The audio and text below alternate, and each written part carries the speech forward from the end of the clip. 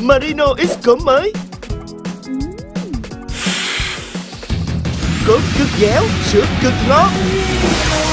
À, cực vui để cùng chia sẻ. Marino vui bất tận.